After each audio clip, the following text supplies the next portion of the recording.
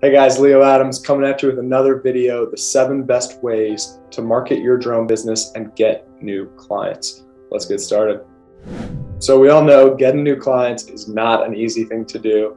Um, so you got to have multiple channels to use for marketing and business development. So, you know, what are those top methods that you can use? So number one is cold calling or cold emailing your target market. I know what you're thinking. It has a bad connotation. People don't love love to cold call. It can be scary or you know feel like an old school marketing tactic that's kind of getting outdated. But I'll tell you, it works, especially when you're new to the industry and trying to break into a new vertical. This is a, an easy way for you to prospect leads and, and target specific people that you think could benefit from your service. So get over that fear of failing or, or embarrassment or, or whatever the case is and you know get your message out there that's one of the the tools in, in your your marketing toolkit for you to, to leverage. So um, again, particularly important if you're just getting started or trying to break into a new vertical. Number two, attending networking or industry specific events.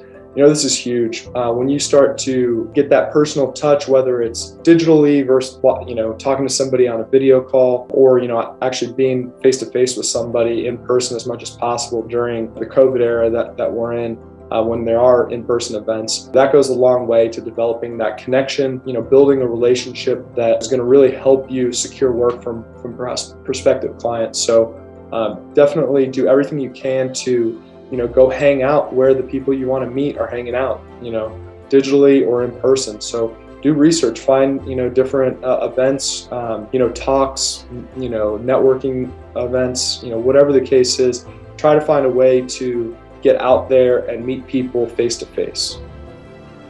Number three is conducting demos or even pro bono work to build your portfolio.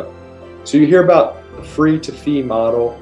You know, some people hate it. Other people uh, really attribute it to a lot of their success and you know their drone business. I personally think that it could be a valuable tool, uh, but it really depends on how you are utilizing it, right? So if you you know are able to set expectations with your customer that this is you know low cost or you know free proof of concept afterwards if you know you're able to prove the value um, of your service that this is going to be the anticipated cost um, or fee structure so that way you kind of get ahead of the ball before you do any work and you set expectations and, anchor expectations with your you know prospect. This is what it's going to cost um, moving forward. And you know i just want to make sure i can prove this value to you. And then once that is the case um, and you know you know that you can benefit from this service uh, this is going to be the cost. And then you can get you know a sense of their reaction. Does it even fit their budgets and expectations or is doing that pro bono work a waste of time? It might not be if even if the customer is not interested in a more longer term relationship with you because it's an opportunity to build your portfolio.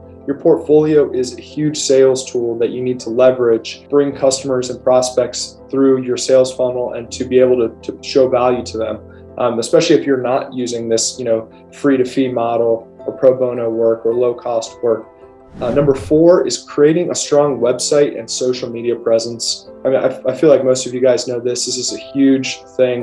You know, when you talk to a prospect, pitch your service, what's the first thing they're going to do? They're going to look at your website, look at your social profiles, try to get a sense of who you are, what your company is, uh, what, what you guys do, and uh, the value you, you can provide, and, and look look at that presence on that web presence as something that kind of build credibility in your sales uh, conversations with, with that customer, right? So go look at your social profiles, your website, make sure it, it lines up with, you know, what your value proposition is so that, you know, as soon as the customer sees that website or, or your social links, they know exactly what you're offering, they know the value you can bring, um, and ultimately it does a good job of highlighting your experience and your skill set. Number five, is networking with existing contacts and asking for referrals. This is huge. This is probably one of the biggest uh, reasons that I, I personally and for Skye Link, we have found new business is just networking with people that we know, existing connections, um, using my network to connect with different people. Um, and sometimes that person in my direct connection does not actually have any work but they're able to make another introduction. So kind of following those different networking points that you have, asking who can you, you know, help connect me with. Um, I, I, find as well, if you're able to help make connections um, and provide value to your connections, then they're much more willing to, to make introductions for you. So it is a two sided relationship. You definitely have to offer value on your end connection as well. A lot of the time, chances are that you know your ideal customer knows people exactly like them. You know, similar people hang out with similar people. So uh, if you can ask for referrals, that is going to create new opportunities and open new doors for you. All right, number six, we have Google and Facebook ads. So digital marketing, I think this is you guys, you know, understand the concept of, of Google and Facebook ads. So we're not going to dive into the detail. We don't, you know, that's not part of the scope of this video, but obviously this is, is huge. It, it, allows you to really target, you know, obviously by keywords on Google or specific demographics, job titles, or interests on Facebook. Um, so this could be a huge way to get your message out to the people that you want the message out to. And so, you know, segmenting for different services or, or industries or verticals, um, and really getting your ad and your message in front of the right people with a really targeted approach. So that's that's an awesome one. Definitely explore that more. And then number seven is drone pilot networks.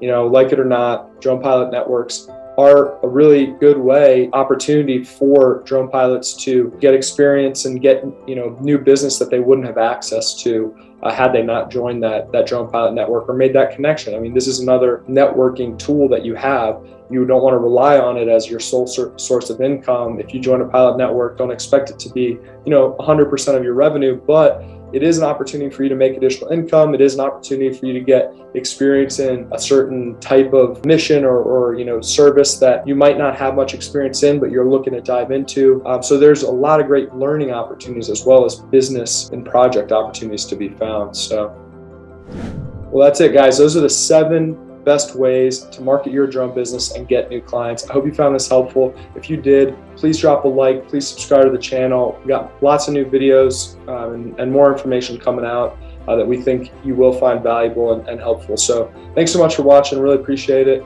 And don't forget, it's time to elevate.